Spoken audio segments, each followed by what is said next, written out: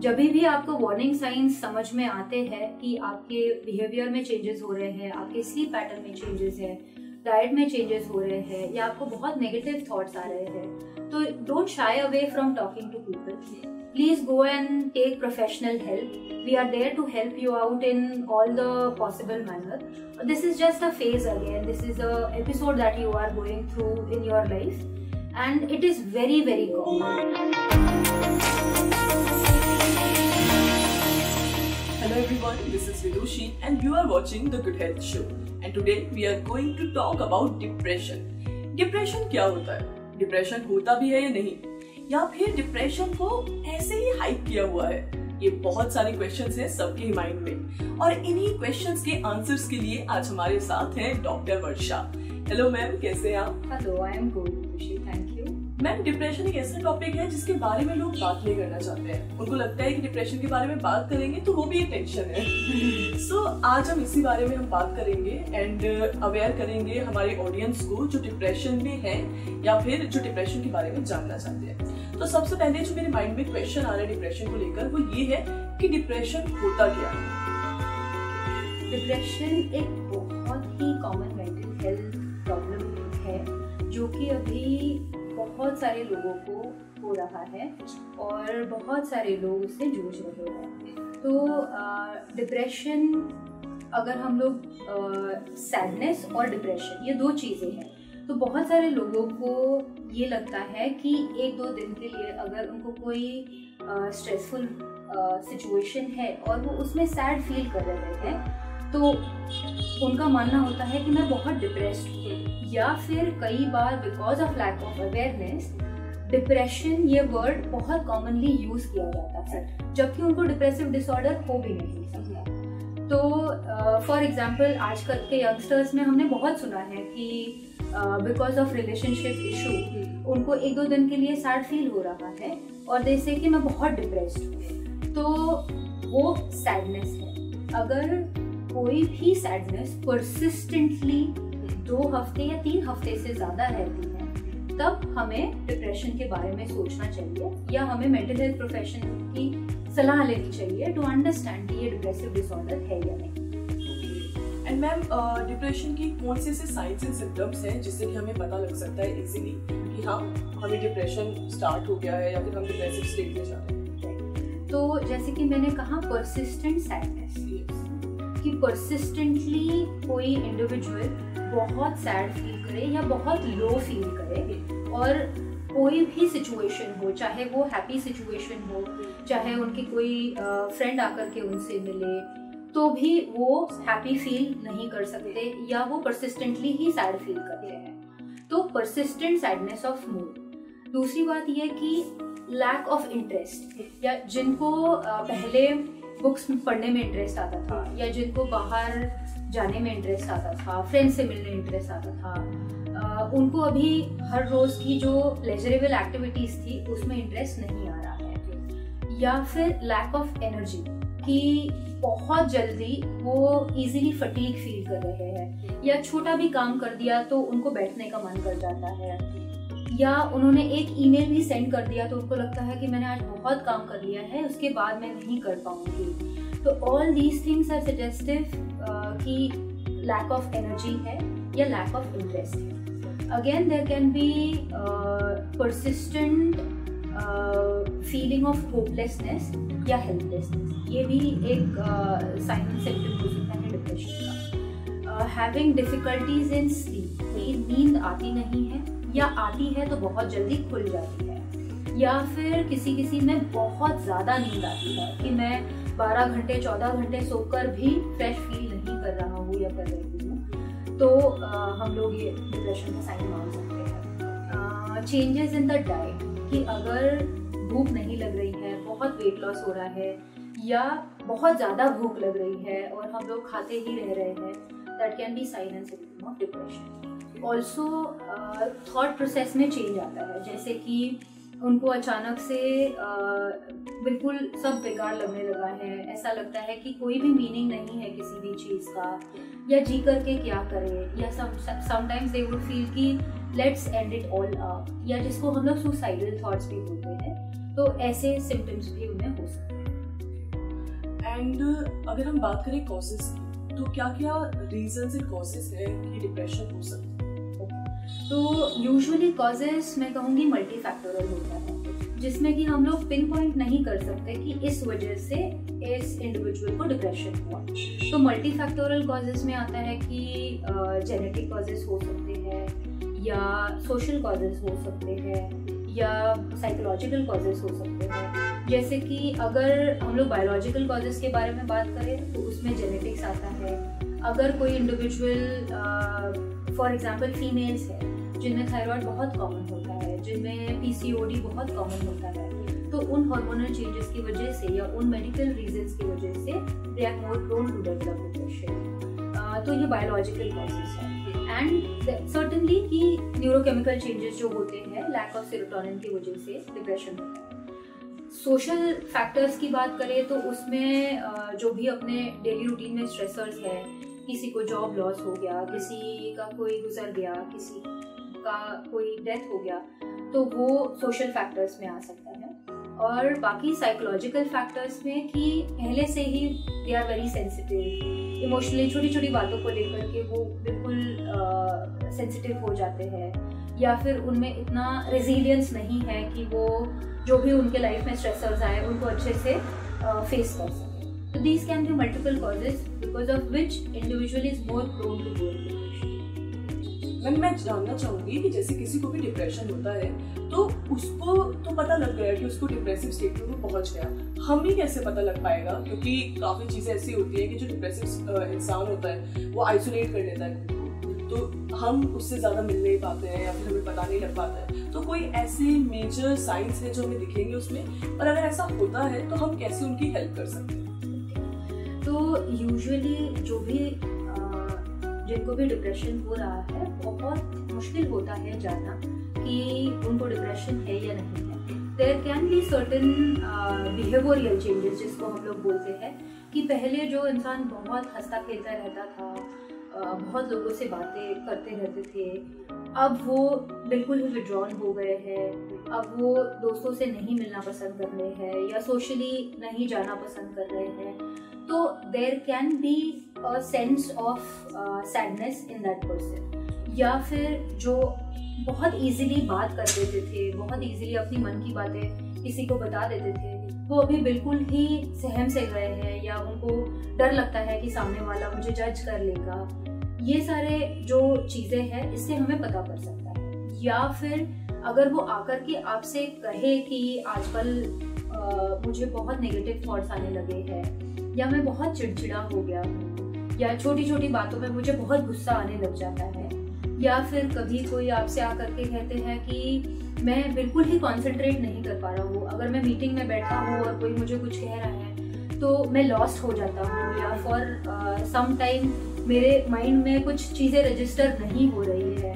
These can be certain changes या फिर अगर वो आकर के कह रहे हैं कि मैं आजकल बिल्कुल ही एनर्जेटिक फील नहीं कर रहा हूँ। बहुत छोटी छोटी चीज़ों में थक जाता हूँ या बहुत छोटी छोटी चीज़ों को लेकर के मुझे ऐसा लगता है, मेरा दिन खत्म हो गया, मैं इससे ज़्यादा कुछ नहीं कर सकता। तो इन चीज़ों को लेकर के हम लोग ये जान सकते हैं कि शायद कुछ ना कुछ तो प्रॉब्लम है या कुछ गलत है जिसके लिए उनको हेल्प लेनी चाहिए। ओके ये तो हो गई मैम बात हमारे फ्रेंड्स एंड फैमिली की।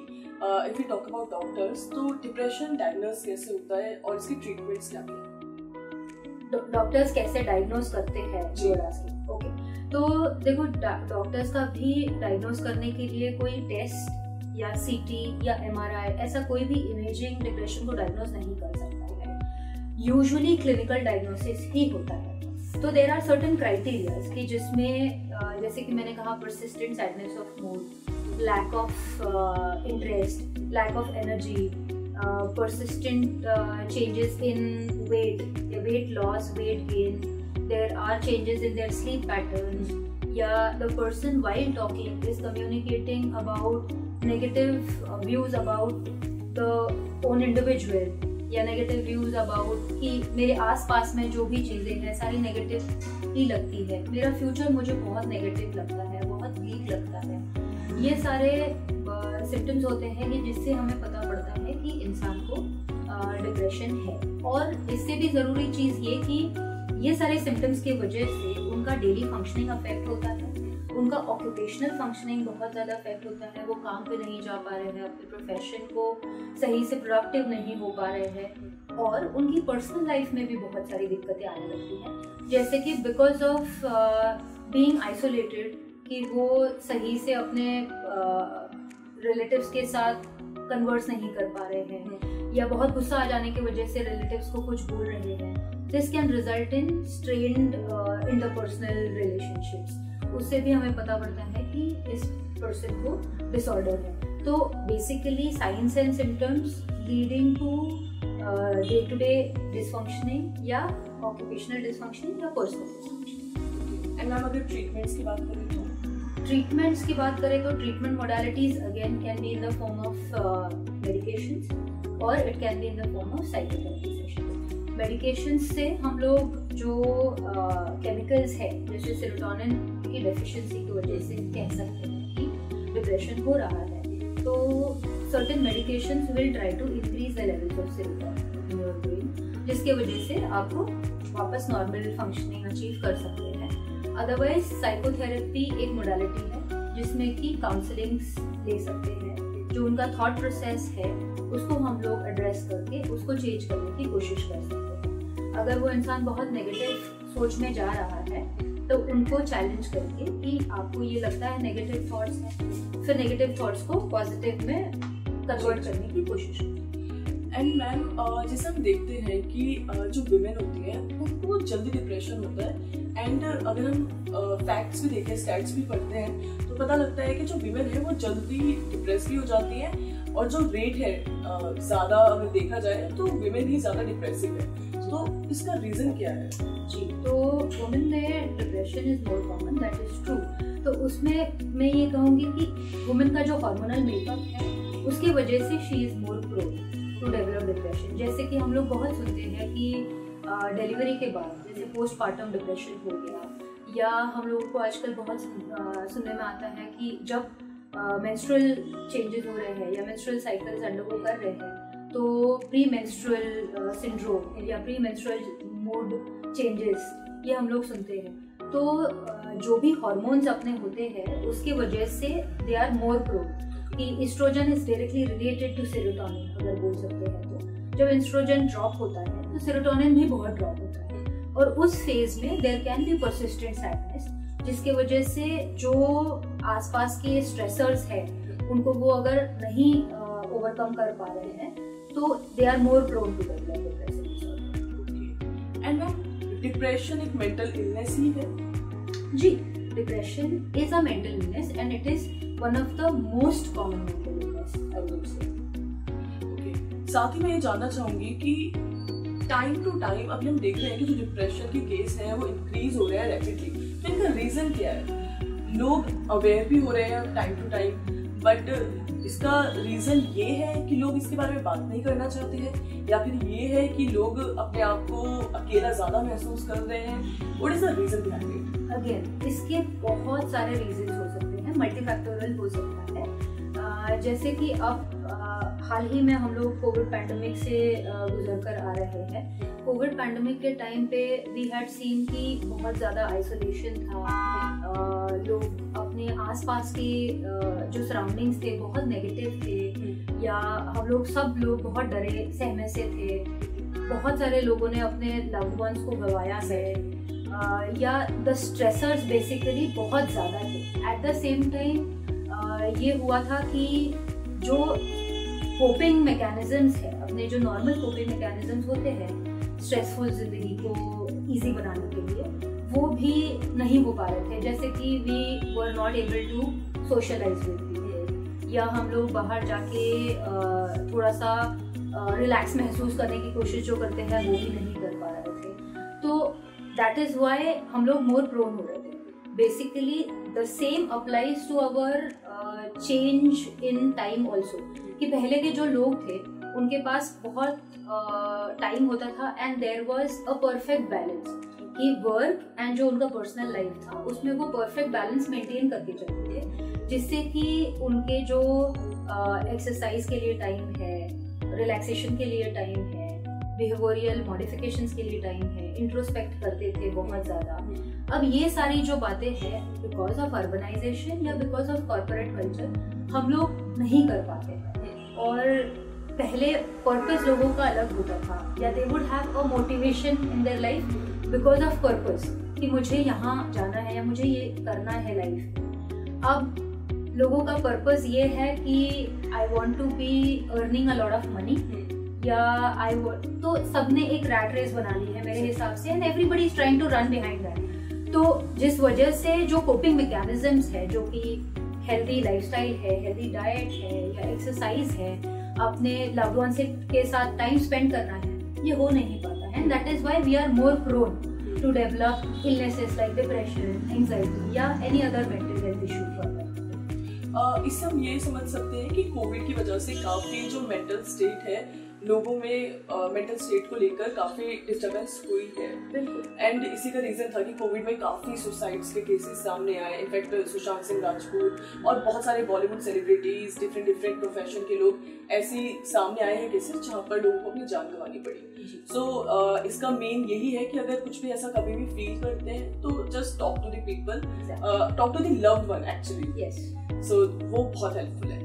इसी के साथ में मैं जानना चाहूँगी कि ऐसी कौन सी डे टू डे हमारी हैबिट्स हैं जिनको हम चेंज कर सकते हैं कि हम डिप्रेशन से बचे रहे या फिर हम कोप अप कर पाए?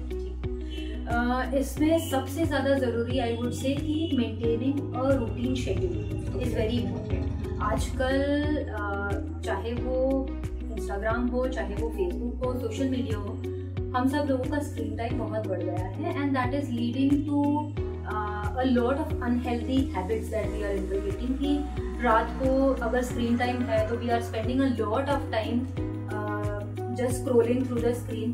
That helps the uh, that uh, disturbs the sleep pattern. तो स्लीप पैटर्न अगर डिस्टर्ब हो रहा है जायज़ सी बात है we are not able to start our day on time अगर वो नहीं हो पा रहा है एक्सरसाइजेज नहीं हो पा रहे हैं the entire routine is disturb this can lead to a lot of disturbance तो इसीलिए I would say maintenance of good schedule and a daily routine is important अब उस रूटीन में हम लोग एक्सरसाइजेस को ऐड करें that is going to be extremely beneficial exercises can be in the form of walk कर ले, कर रहे हैं. नीड नॉट बी हमें कि जिम में ही जाना है या हमें स्पेसिफिक एब्स ही करने हैं. ऐसा कोई ज़रूरी नहीं है. You can take a walk you can take a jog in the park वो बेनिफिशियल हो सकता है. Then taking proper diet, healthy diet. We are relying on to junk or because of the fast paced life, we are relying on to fast food. कि जल्दी जल्दी से कुछ खा लिया and we go back to work तो ये सारी चीज़ें ना करके अगर हम लोग बैलेंस डाइट लेने की कोशिश करें adequate sleep is at most necessary कि seven to eight hours of sleep at a stretch is required ये नहीं कि मैं चार घंटा सो गई थी and then after that two hours में दिन में सो गई। तो फॉर यंगस्टर्स स्पेसिफिकली और यंग अडल्ट मैं एडवाइज नहीं करूँगी कि आफ्टरनून नैप ज़रूरी है। Instead you can take a मतलब consistent sleep for seven to eight hours at night again decreasing the screen time would be advisable क्योंकि वो स्लीप को अफेक्ट करता है। There are certain behavioural modification that we can inculcate कि हम लोग अपने बिहेवियर में काइंडनेस इंक्लूड करें, अपने बिहेवियर में ग्रैटिट्यूड इंक्लूड करें। You can be very I mean you can practise letting go of things and at the same time prioritising कि work yes obviously it is a priority but health is above work so अगर हम लोग health को prioritise करेंगे that will be more beneficial okay ma'am मुझे लगता है कि काफ़ी ज़्यादा अवेयरनेस डिप्रेशन को लेकर हमारी ऑडियंस को आई होगी। साथ ही मैं चाहूँगी कि आप कोई एडवाइस कोई सजेशन दें हमारे ऑडियंस को, जिससे उन्हें डिप्रेशन से लड़ने की ताकत मिले एंड वो इससे बचे भी रहे। सो डिप्रेशन एक मेंटल हेल्थ इशू है, एक मेंटल इलनेस है बट ऐसा नहीं है कि अगर किसी को डिप्रेशन हो जाता है तो that is the end of life depression can be very well treated उसके बहुत सारे ट्रीटमेंट मोडालिटीज़ है बहुत सारे ट्रीटमेंट ऑप्शन है. And even after a person is in very severe depression वो रिवर्ट बैक कर सकते हैं and they can lead a normal life as other people are living the only thing is अगर हम लोग इस चीज़ को जल्दी से नोटिस uh, करें या जल्दी से एड्रेस करें तो that is better early intervention का बहुत ज़्यादा इम्पोर्टेंस है। जितना भी जल्दी आप कर सकते हैं, उतना ज़्यादा बेटर है। जब भी आपको वार्निंग साइंस समझ में आते हैं कि आपके बिहेवियर में चेंजेस हो रहे हैं, आपके स्लीप पैटर्न में चेंजेस है डाइट में चेंजेस हो रहे हैं, या आपको बहुत नेगेटिव थॉट्स आ रहे हैं तो don't shy away from talking to people please go and take professional help we are there to help you out in all the possible manner this is just a phase again this is a episode that you are going through in your life and it is very very common uh, in fact मैं ये कहूँगी कि uh, 80% of the individual would go through a depressive episode in some point of their life. So it is not very uncommon. आप अकेले नहीं हैं and if you take help, that would go uh, make you go a long way. True, ma'am. And never neglect mental health. Never ever. True. Thank you so much, ma'am, for this beautiful interview, and it was a great session. Thank you. Thank you, Virushi.